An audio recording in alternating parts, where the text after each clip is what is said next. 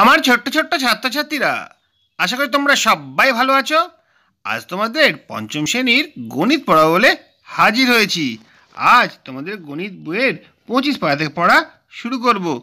এর আগে এক থেকে চব্বিশ পাতা অবধি পড়ানো, বোঝানো, লেখানো সব হয়ে গেছে। যা যা দেখতে হয়নি ডিসক্রিপশনে কিংবা প্লেলিস্টে গিয়ে অবশ্যই দেখে নেবে। আশা করি তোমাদের অনেক কাজের হবে।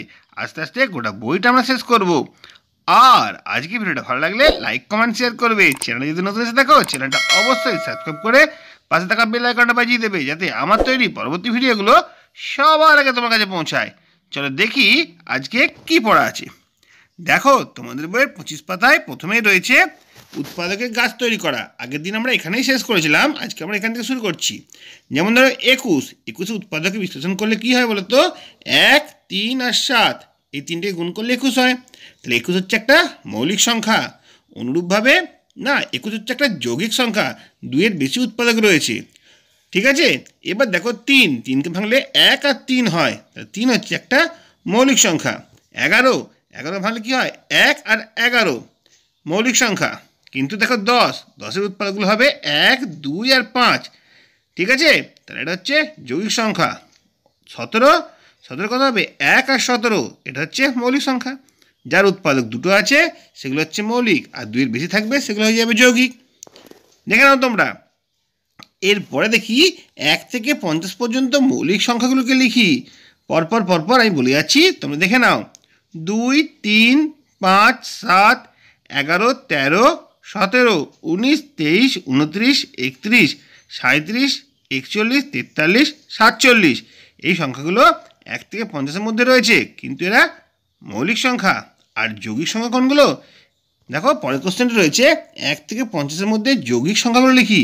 কোনগুলো হয় বলো তো এই সংখ্যাগুলো বাদ দিয়ে বাকি সব সংখ্যাগুলো হবে যৌগিক সংখ্যা। যেমন, চার, ছয়, আট, নয়, দশ, বারো, চোদ্দ, পনেরো, ষোলো, আঠেরো, কুড়ি, একুশ, বাইশ, চব্বিশ, পঁচিশ, ছাব্বিশ, সাতাশ, আঠাশ, তিরিশ, বত্রিশ, তেত্রিশ, চৌত্রিশ, পঁয়ত্রিশ, ছত্রিশ আটত্রিশ, উনচল্লিশ, চল্লিশ, বিয়াল্লিশ, চুয়াল্লিশ, পঁয়তাল্লিশ, ছেচল্লিশ, আটচল্লিশ উনপঞ্চাশ দেখো, কীভাবে মৌলিক সংখ্যা বা যৌগিক সংখ্যা বার করতে হয়, তার জন্য আলাদা একটা ভিডিও এরোটা ছিল নি, সেটা আমরা আগে করিয়ে দিয়েছি।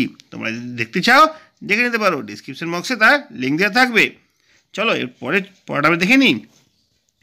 চার নম্বর প্রশ্ন কী বলছে? দুই ছাড়া প্রত্যেক জোড়া, প্রত্যেক জোড় সংখ্যা মৌলিক আর না যৌগিক। দেখো দুই ছাড়া প্রত্যেক জোড় সংখ্যা যৌগিক, কারণ তাদের প্রত্যেকটির দুইয়ের বেশি।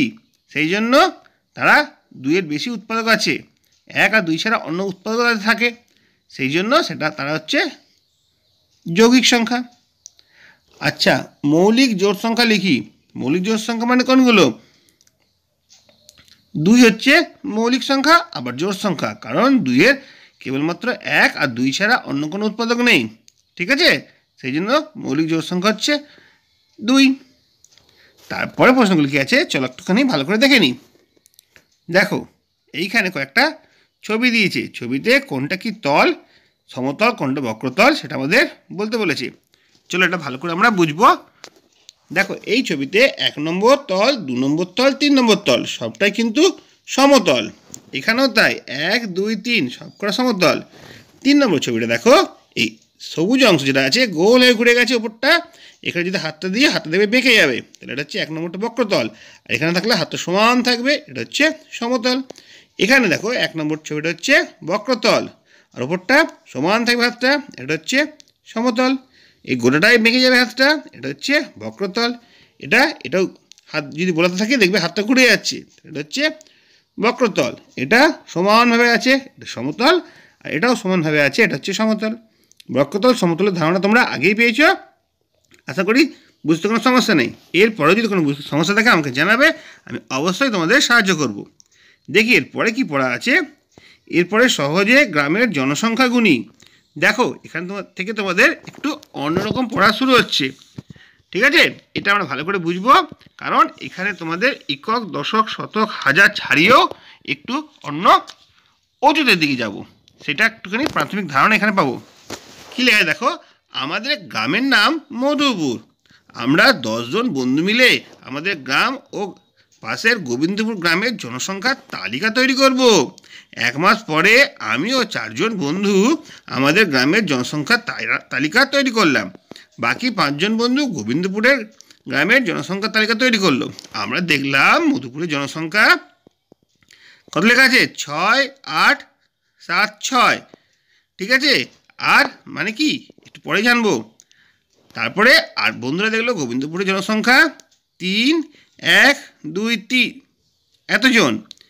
কী করে বুঝব বলো তো? দেখো, এখানে লেখা রয়েছে, মধুপুরের জনসংখ্যা। মধুপুরে কত বলেছিলাম? একক, দশক, শতক, হাজার। এককের ঘরে ছয়, দেখো। একক ঘরে ছটা পুঁথি রয়েছে। দশকের ঘরে সাত, সাতটা পুঁথি। আর শতকের ঘরে আট, আটটা পুঁথি। আর হাজারের ঘরে ছটা পুঁথি তাহলে ছ হাজার সাতশো ছিয়াত্তর। আর গোবিন্দপুরের জনসংখ্যা কত? দেখো, তিন এক দুই তিন বলেছে, তাহলে এককের ঘরে তিন। দেখো, তিনটে পুঁথি দশকের ঘরে দুই, দুটো পুঁথি, আর শতকের ঘরে এক, একটা পুঁথি, আর হাজারের ঘরে এক, তিন হাজার ঘরে তিন। এখানে তিনটে পুঁথি দেওয়া হয়েছে। ঠিক আছে? কত হচ্ছে তাহলে? তিন হাজার একশো তেইশ জন। এবার দুটোকে যোগ করে দেওয়া হয়েছে। দুটো গ্রাম মিলিয়ে দুটো গ্রামের মোট জনসংখ্যা তাহলে কত হচ্ছে? যোগ করে দেখো, ছয় আর তিন যোগ করলে নয়, সাত আর দুই যোগ করলে নয়, আট এক যোগ করলে নয়, ছয় তিন যোগ করলে নয়, ন হাজার নশো নিরানব্বই। ঠিক আছে? কিন্তু আমরা জনগণনায় ভুল ছিল, একজন বেশি হবে। তাহলে দুটো গ্রামের মোট জনসংখ্যা হবে ন হাজার নশো নিরানব্বই, তার সঙ্গে এক যোগ করতে হবে। দেখো, এখানে নটা ঘর নটা ঘর নটা ঘর তো ভর্তি হয়ে গেছে। এক যোগ করলে কত হয়ে যায়? দশ হাজার হয়ে যায়। সেই দশ হাজারটা কোথায় যাবে বলো তো? এখান থেকে একটা যদি দিব, এখানে কত হয়ে যাবে? নয় রাখে দশ হয়ে যাচ্ছে। দশ তো থাকে না। তাহলে এই সব কটা মিলে একটা হলুদ বল তৈরি হয়ে যাবে। দেখো এখানে নটা লাল বল থাকতে পারে, কিন্তু একজন আমি যোগ করে দেখছি। তাই তো? তাহলে নয় একে দশ হয়ে যাচ্ছে। যখন এরকম দশ হয়ে যায়, তখন এই দশটা লাল বল গায়েব হয়ে একটা হলুদ বল তৈরি হয়। হলুদ ঘর, হলুদ নম্বর ঘরে একটা বল এলো। এবার হলুদ বল কটা হয়ে যাচ্ছে? দশটা হয়ে যাচ্ছে। তখন নিয়ম কি? নিয়ম এই দশটা বল গায়েব হয়ে একটা সবুজ বল তৈরি হয়ে যায়। বাকি ঘরগুলো ফাঁকা থেকে যাবে। তারপরে সবুজ ঘরে একটা সবুজ বল এলো। তাহলে নটা ছিল, আর একটা এলো। তাহলে কী হবে? সবুজ বলগুলো গায়েব হয়ে আরও একটা নীল রঙের বল তৈরি হয়ে গেল। তা নীল রঙের বল তৈরি হয়ে যাওয়ার জন্য কী হচ্ছে? দেখো, নীল রঙের অলরেডি নটা ছিল, আরও একটা বল চলে এলো। তাহলে দশটা বল তো থাকতে পারে না। নিয়ম কি? এই দশটা বল গায়েব হয়ে গিয়ে পরের একটা নতুন ঘর আসছে, অজুতের ঘর। সেখানে একটা বল তৈরি হলো। বাকি সব ঘরগুলো ফাঁকা দিয়ে যাচ্ছে। এই যে কমলা রঙের বলটা তৈরি হলো সেই বলটা হচ্ছে এক অজুত বাকি সব শুনো তাই তো? এটাকে বলে দশ হাজার। ঠিক আছে? এরকমভাবে আমরা দশ হাজার জিনিসটা শিখলাম। দশ হাজার বা এক অজুত এরকম কথা বলতো? কুড়ি হাজার। এখানে যদি বসায় কটা আছে? এক, দুই, তিন, চার, পাঁচ। এখানে কটা আছে? দেখে নি তো। এক, দুই, তিন, চার, পাঁচ, ছয়। ছটা আছে অজুতের ঘরে। আর হাজারের ঘরে আছে দুই। ঠিক আছে? তাহলে কত হচ্ছে? বাষট্টি হাজার। ঠিক আছে? ছয়, দুই, শূন্য শূন্য শূন্য। বাষট্টি হাজার। এবার কুড়ি হাজার বা পঞ্চাশ হাজার বা বাষট্টি হাজার। এইভাবে আমরা প্রকাশ করতে পারব। আরও আছে? আরও ওগুলোও দেখে নিই। এখানে কটা আছে? এখানে গুণ দেখব। সাতটা আছে, এখানে চারটে আছে। তাহলে চুয়াত্তর হাজার। ঠিক আছে? এখানে কত আছে? এখানে আট, তিন, দুই, শূন্য শূন্য। তাহলে তিরাশি হাজার দুশো। কীরকমভাবে ছকে বসাতে হচ্ছে, তোমরা একটু দেখে নাও। এখানে কটা আছে? এখানে রয়েছে পাঁচ পাঁচ, দুই, শূন্য, তিন, এক। তার মানে বাহান্ন হাজার একত্রিশ। এরকমভাবে আমরা বসাবো। তারপরটা কত রয়েছে? সাঁত্রিশ তিন, সাত, পাঁচ, দুই, চার। সাঁত্রিশ হাজার পাঁচশো চব্বিশ। তোমরা দেখো এইরকমভাবে কিন্তু পুঁতির সাহায্যে, কাঠির সাহায্যে অঙ্কগুলো আমরা শিখছি। আচ্ছা এরপরে কি আছে? এরপরে পুঁথি কাঠি, ওরা দেয়নি, সংখ্যাগুলো দিয়েছে, আমাদের বসাতে হবে। ষাট হাজার কুড়ি। তাহলে এখানে ছয়, এখানে শূন্য, ষাট হাজার হয়ে গেল। শতকরা ঘরে কিছু নেই, কুড়ি মানে দুই দশে কুড়ি, এখানে দুই একটা শূন্য। বুঝে গেছে? এইভাবে এখানে বসাতে হবে। এখানে ছটা পুঁথি এখানে পুঁথি বা বল বলতে পারো, এখানে দুটো। এই দুটো শূন্য শূন্য থাকছে, ষাট হাজার কুড়ি। তারপরে ছত্রিশ হাজার পাঁচশো, ছত্রিশ হাজার তিন ছয়, ছত্রিশ হয়ে গেলো, হাজারের ঘরে ছত্রিশ কমপ্লিট হয়ে গেলো, আর পাঁচশো সতেরো ঘরে পাঁচ, এই দুটো কিছুই নেই, শূন্য শূন্য হবে। দেখে নাও তোমরা কীভাবে এটা ছকটা পূরণ করছি। তারপরে পাঁচ অঙ্কের বৃহত্তম সংখ্যা ন হাজার নশো নিরানব্বই, সব কটা ঘরে নয়, আর নটা করে বল। আর একটা কি আছে, পাঁচ অঙ্কের ক্ষুদ্রতম সংখ্যা, হাজার। এখানে একটা বল, বাকি সব শূন্য। এটা আমরা আগেই করলাম। না, দশ হাজার। এক হাজার নয়, পাঁচ অঙ্কের ক্ষুদ্র সংখ্যা হচ্ছে দশ হাজার। তাহলে এখানে একটা বল, বাকি সব শূন্য। হয়ে গেল? এইভাবে আমরা এই অঙ্কগুলো বুঝে নিলাম।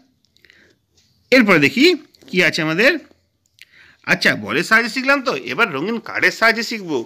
দেখো, এটা হচ্ছে একের কার্ড, আমরা আগেই শিখেছি, এটা দশের কার্ড, একশোর কার্ড, হাজারের কার্ড দশ হাজারের কার্ড তৈরি করলাম। এটা মানে এটা যদি দশটা দিই, একটা হলুদ কার্ড হবে। দশটা হলুদ কার্ড মানে একটা সবুজ কার্ড। দশটা সবুজ কার্ড মানে একটা হাজারের কার্ড আর দশটা হাজারের কার্ড মানে একটা দশ হাজারের কার্ড এরকমভাবে আমরা কার্ডের সাহায্যেও অনেক কিছু বুঝতে পারি। যেমন দেখো, এইখানে কি আছে? দুটো হাজারের কার্ড মানে দুটো দশ হাজার কার্ড মানে কুড়ি হাজার। এখানে এক, দুই, তিন, চার, চারটে হাজার কার্ড মানে চার হাজার। তিনটে শতকের কার্ড মানে তিনশো। একটা দশের কার্ড মানে দশ। দুটো একের কার্ড মানে দুই। তাহলে চব্বিশ হাজার তিনশো বারো। দেখো কুড়ি হাজার আর চার হাজার যোগ করলে চব্বিশ হাজার, তিনশো, দু, দশ আর দুই বারো। তিন হাজার চব্বিশ হাজার, তিনশো বারো। এটাই সংখ্যায় লেখা হয়েছে। চব্বিশ হাজার, তিনশত বারো বা দুই অযুত চার হাজার, তিনশত দুই দশক। এক দশক, দুই একক। ঠিক আছে? একটা দশক, দুটো একক। এরকমভাবে আমরা কথা লিখতে পারি। এটা স্থানীয় মানে বিস্তার করে লেখা, এটা অঙ্কে লেখা, এটা কথায় লেখা। এটা কার্ডের সাহায্যে প্রকাশ করা। এরকমভাবে আমরা শিখছি দেখো, এখানেও কিন্তু আরও কিছু অঙ্ক আছে যেগুলো আমরা ভালো করে বুঝব। আগে বুঝব, প্রথম ঘরে কটা কটা কার্ড আছে, তার কত ভ্যালু হয়। চলো দেখো, কি আছে প্রথম ঘরে? দশ হাজার কার্ড আছে তিনটে, তাহলে হয়ে যাচ্ছে তিরিশ হাজার। হাজারের কার্ড আছে চারটে, তাহলে হয়ে যাচ্ছে চার হাজার। একশো কটা আছে? একশো আছে, এক, দুই, তিন, চার। চার একশো চারশো। এখানে কটা? দশক কটা আছে? এক, দুই, তিন। মানে তিরিশ। একক কটা আছে? এক, দুই, তিন, চার। চারটে একক মানে হচ্ছে চার। তাহলে তিরিশ হাজার আর চার হাজার যোগ করলে চৌত্রিশ হাজার। চারশো তিরিশ আর চার যোগ করলে চৌত্রিশ। তাহলে চৌত্রিশ হাজার চারশো চৌত্রিশ। এটা হচ্ছে কথায় লেখা, এটা হচ্ছে অঙ্কে লেখা, এটা হচ্ছে স্থানীয় মানে বিস্তার করা। দেখে নাও তোমরা, এই কার্ডের সাহায্যে স্থানীয় মানে বিস্তার করা খুব সহজ ব্যাপার। আশা করি বুঝতে কোনো সমস্যা নেই। এরপর দেখো আর একটা রয়েছে সেটা প্রকাশ করব। কটা? দশ হাজার আছে চারটে। চল্লিশ হাজার। এখানে কত? হাজার আছে এক, দুই, তিন, চার, পাঁচ। মানে পাঁচ হাজার। শতক আছে এক, দুই, তিন, চার, পাঁচ। মানে পাঁচশো। দশক আছে এক, দুই, তিন, চার, পাঁচ। মানে পঞ্চাশ। একক আছে এক, দুই, তিন, চার, পাঁচ। মানে পঞ্চান্ন। তাহলে পঁয়তাল্লিশ হাজার। কী করে পঁয়তাল্লিশ হাজার হলো? এই চল্লিশ হাজার আর পাঁচ হাজার, পঁয়তাল্লিশ হাজার। পঁয়তাল্লিশ হাজার পাঁচশো পঞ্চান্ন। এটাই ভাষায় কথা লেখা হয়েছে। পঁয়তাল্লিশ হাজার পাঁচশত পঞ্চান্ন। অঙ্কে লেখা, স্থানীয় মানে লেখা। ঠিক আছে? বেশ। তারপরে কি আছে দেখো? একদম তিরিশ পাতার শেষের দিকে অঙ্কটা। দশ হাজার কাঠ দুটো মানে হচ্ছে কুড়ি হাজার। হাজার কাঠ দুটো মানে দু হাজার। শতকের কাঠ এক, দুই, তিন, চার, পাঁচ, ছয়। তার মানে ছশো। দশকের কাঠ তিনটে মানে তিন দশে তিরিশ। এককের কাঠ আছে কটা? একটা, দুটো, তিনটে মানে হচ্ছে তিন। তাহলে বাইশ হাজার, কী করে বাইশ হাজার হচ্ছে? এই যে কুড়ি হাজার আর দু হাজার, বাইশ হাজার, ছশো, তিন দশ, তিন তেত্রিশ। ঠিক আছে? উত্তরটা হলো বাইশ হাজার, ছশো, তেত্রিশ। কথায় লেখা আর সংখ্যায় লেখা স্থানীয় মানে বিস্তার। সবকটা করিয়ে দেওয়া হয়েছে। বেশ, এরপর আমরা পরে পরে দিয়ে এগিয়ে যাই। দেখো, এখানে স্থানীয় মানে বিস্তার কথা কথা বলা হয়েছে। এটা আমরা এইমাত্র শিখলাম, কার্ডের সাহায্যে সেগুলো আরও একবার অনুসরণ করে নিচ্ছি। কত আছে বলতো এখানে? এক, দুই, তিন, চার, পাঁচ। পাঁচ, দশে পঞ্চাশ, আর এখানে এক, তাহলে একান্ন হাজার। এখানে লিখব পঞ্চাশ হাজার যুক্ত এক হাজার। এখানে লিখব একান্ন হাজার। এখানে লিখব একান্ন হাজার। ঠিক আছে? আবার দেখো স্থানীয় মানে বিস্তার করে অঙ্কে লিখি। দেখো অঙ্কে লেখা আছে কত? একক, দশক, শতক, হাজার, অযুত। ঠিক আছে? এটাকে আমরা স্থানীয় মানের সাথে বিশ্বাস করলে কী হবে? উঁচুতে ঘরে এক বসবে, তার মানে এখানে একটা কার্ড বসবে, আর একদম শেষে একটা কার্ড বসবে। স্থানীয় মানে বিস্তার হচ্ছে দশ হাজার যুক্ত এক। দশ হাজার এক হচ্ছে কথায় লেখা। ঠিক আছে? দেখে নাও তোমরা, এরকমভাবে কিন্তু স্থানীয় মানে বিস্তার, অঙ্কে লিখি এবং কথা লিখি এগুলো অনুশীলন করছি আমরা। বেশ আরও দুটো অঙ্ক আছে, পরপর সেগুলো আমরা দেখে নিই। এখানে লেখা আছে, দেখো, বাহান্ন হাজার দুইশত উনত্রিশ। বা পাঁচ অজুদ দেখো পাঁচ অজুদ মানে এখানে বসে যাবে পাঁচটা কার্ড আচ্ছা তারপরে কি বলেছে? দুই হাজার হাজার ঘরে দুটো কার্ড বসবে। দুই শত, শতকের ঘরে দুটো কার্ড তারপরে দু দশ নয়, এখানে দুটো দশের কার্ড এখানে নটা আছে এক এক কার্ড হয়ে গেল পঞ্চাশ হাজার যুক্ত দু হাজার, যুক্ত দুশো, যুক্ত কুড়ি, যুক্ত নয়। তাহলে বাহান্ন হাজার দুশো উনত্রিশ, পাঁচ, দুই দুই দুই, নয়। এরকমভাবে অঙ্কে লেখা হলো, এরকমভাবে স্থানীয় মান বিস্তার এরকম কার্ডের সাহায্যে। আবার দেখো, স্থানীয় মানে বিস্তারটা করে দেওয়া হয়েছে, তিরিশ হাজার দু হাজার দুশো এক। তাহলে দশ হাজার ঘরে বসবে তিনটে কার্ড আচ্ছা হাজারের ঘরে বসবে দুটো কার্ড দু হাজার আছে, শতকের ঘরে বসবে দুটো কার্ড, দুশো আছে, দশক কিছু নেই, এককের ঘরে বসবে একটা কার্ড। কথা লিখলে কী হবে? সংখ্যা লিখলে কী হবে? দেখো, অঙ্কে যদি লিখি কী হবে এটা? বত্রিশ হাজার দুশো এক। তিন, দুই দুই, শূন্য, এক। বত্রিশ হাজার দুশো এক, এখানে কথা লিখে নেওয়া হবে। দেখো, এরকমভাবে কিন্তু আমরা অঙ্কগুলো শিখছি। আরও দুটো অঙ্ক আছে, এগুলো আমরা করে নেব। একই রকম অঙ্ক, চুয়াল্লিশ হাজার চারশত দুই বা চার অজুত এখানে চার, চারটে বসবে। চার হাজার, এখানে চার বসবে। চার শত এখানেও চার বসবে। আর দুই, এখানে দুই বসবে। স্থানীয় মানে বিস্তার করলে চল্লিশ হাজার যুক্ত চার হাজার যুক্ত চারশো যুক্ত দুই। চল্লিশ হাজার চারশো দুই, চার চার চার, শূন্য দুই। ঠিক আছে? এবার দেখো, ছবি দিয়ে দিয়েছে আমাদের স্থানীয় মানে বিস্তার করে লিখতে বলেছে। কীরকম আছে বলো তো এটা কটা? একটা, দুটো, তিনটে। তার মানে তিরিশ হাজার। এখানে কটা আছে? একটা, দুটো, তিনটে। তার মানে তিন হাজার। চারটে মানে চারশো। এখানে তিনটে মানে তিরিশ। এখানে তিনটে মানে তিন। তাহলে তেত্রিশ হাজার চারশো তেত্রিশ। এরকমভাবে কথা লিখব, এরকমভাবে অঙ্কে লিখে নেব। হলো? এরপর আমরা আরও একটু পরে দেখে নেব, কি আছে? দেখো, এখানে রয়েছে পঞ্চাশ হাজার পাঁচশত পাঁচ বা পাঁচ অজুত পাঁচশত পাঁচ। অজুত ঘরে পাঁচ শতকের ঘরে পাঁচ, এখানে ঘরে পাঁচ।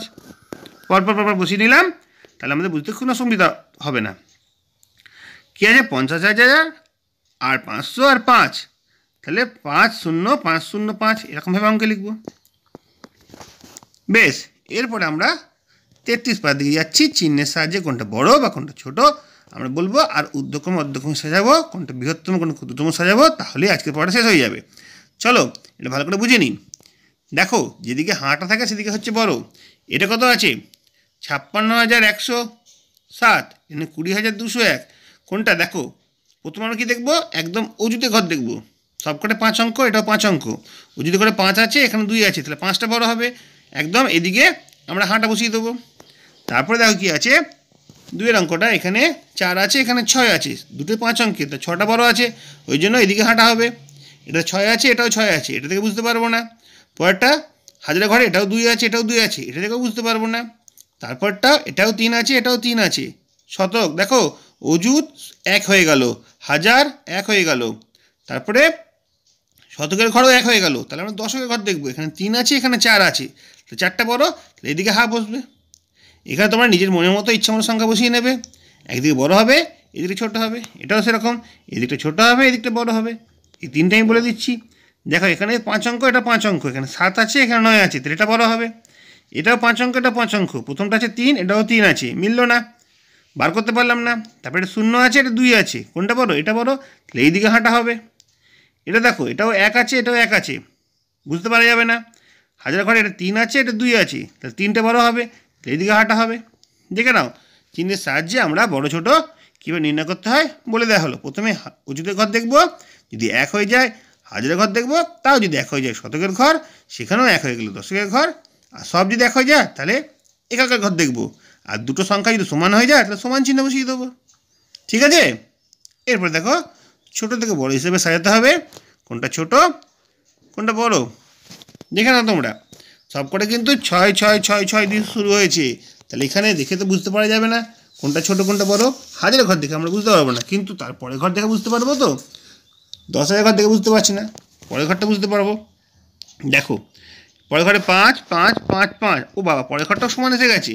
তাহলে শতকের ঘর দেখব। এখানে দুই আছে, এখানে তিন আছে, এখানে দুই আছে, এখানে চার আছে। তাহলে দুইটা ছোট হবে। কোন দুইটা? এই এই সংখ্যাটা ছোটো হবে না এই সংখ্যাটা ছোটো হবে? এই দুটো সংখ্যার মধ্যে দেখো, এখানেও প্রথম তিনটে মানে অজুদের ঘর, হাজারের ঘর, শতকের ঘর। এখানে অতীতের ঘর, হাজারের ঘর, শতকের ঘর সমান হয়ে গেছে। তারপর রয়েছে কত? দশকের ঘরে, এখানে এক আছে, এখানে তিন আছে। তো ছোটো কোনটা হচ্ছে? একটা ছোট। সব থেকে ছোটো হলো এইটা, পঁয়ষট্টি হাজার দুশো পনেরো। তার থেকে বড় হচ্ছে এইটা। এই দুটোর মধ্যে তো হচ্ছিল। তারপর কোনটা আছে দেখো? তারপরে ছয়, পাঁচ, তিন। ছয়, পাঁচ, চার। তিনটে ছোটো হবে, তারপরে এটা হবে, তারপরে এটা হবে। তাহলে সাজালে কেমন হচ্ছে? প্রথমে হবে পঁয়ষট্টি হাজার দুশো পনেরো, তারপরে হবে পঁয়ষট্টি দুশো বত্রিশ পঁয়ষট্টি হাজার তিনশো একুশ, তারপরে হবে পঁয়ষট্টি হাজার চারশো পঁচানব্বই। হ্যালো এটা হচ্ছে ঊর্ধ্বক্রমিক মানে ছোটো থেকে বড়।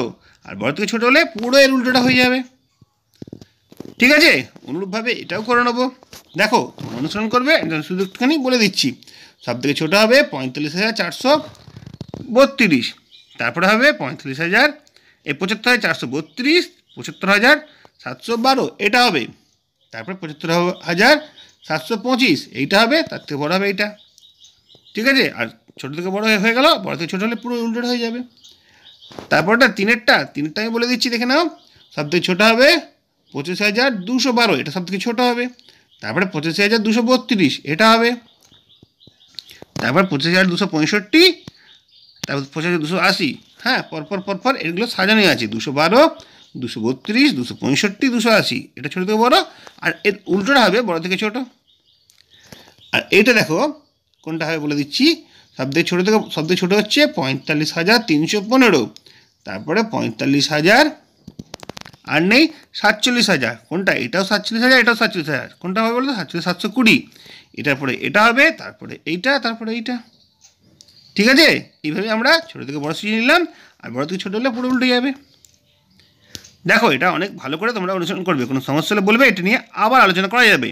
বা লাইভ ক্লাসে এটা নিয়ে আমরা আলোচনা করতে পারি। তোমাদের কমেন্ট বক্সে কমেন্ট করে জানাবে কী করা উচিত, আমি সেরকম অনুসারে কাজ করব। তারপরে দেখো, আজকে পড়ার প্রায় শেষের দিকে এসে গেছি। এই অঙ্কগুলো দিয়ে বৃহত্তম আর ক্ষুদ্রতম পাঁচ অঙ্কের সংখ্যা লিখতে হবে। বৃহত্তম সংখ্যা যদি লিখতে হয়, বড় থেকে ছোটো সাইলেই হয়ে যাবে। সব থেকে বড় আট, তার থেকে ছয়, পাঁচ, দুই, এক, ঠিক আছে? ছিয়াশি হাজার পাঁচশো একুশ বৃহত্তমগুলো আগে শিখে নিচ্ছি। তারপরে এটাও বড় থেকে ছোটো সাজাবো, এটাও তাই করব, এটাও তাই করব। এটা হবে কত? যেখানে সব থেকে বড় হচ্ছে আট। তাই তো? তারপর আট, তিন, দুই, এক, শূন্য। এটা নয়, আট, সাত, তিন, শূন্য। এটা নয়, ছয়, চার, তিন, দুই। বৃহত্তমটা খুব সোজা হয়ে গেল। ক্ষুদ্রতমটা কী হবে? পুরো উল্টোটা হবে। কিন্তু একটুখানি আলাদা হবে। এই দুটো অঙ্কে দেখো, শূন্য আছে শূন্য আছে। যখন সংখ্যার মধ্যে শূন্য থাকে, শূন্যটা কিন্তু প্রথম থেকে বসে না। তাহলে আমরা এটা ছোট থেকে বড় সাজিয়ে নেব। কিন্তু শূন্য যদি থাকে, শূন্যটা দু নম্বর ঘরে বসাবো। ওই জন্য হবে এক, শূন্য, দুই, তিন, আট। আর এখানে হবে সব থেকে ছোটো হচ্ছে শূন্য, শূন্যটা বসে না। তাহলে তিন, শূন্য, সাত, আট, নয়। এখানে বসবে। বাকি সব কটা? পুরো উল্টোটা? বৃহত্তম ক্ষুদ্রতমের উল্টো পর- পরস্পর দেখো, অনেক বড় অনেকক্ষণ ধরে পড়াটা পড়ানো হলো, আশা করি তোমাদের বোঝা গেছে। যদি ভিডিওটা ভালো লাগে, কাজের মনে হয়, অবশ্যই লাইক কমেন্ট শেয়ার করবে। চ্যানেল যদি নতুন এসে থাকো চ্যানেলটা সাবস্ক্রাইব করে পাশে থাকা বেল আইকনটা বাজিয়ে দেবে, যাতে আমার তৈরি পরবর্তী ভিডিওগুলো সবার আগে তোমার কাছে পৌঁছায়। তোমরা প্রত্যেকে ভালো থাকবে।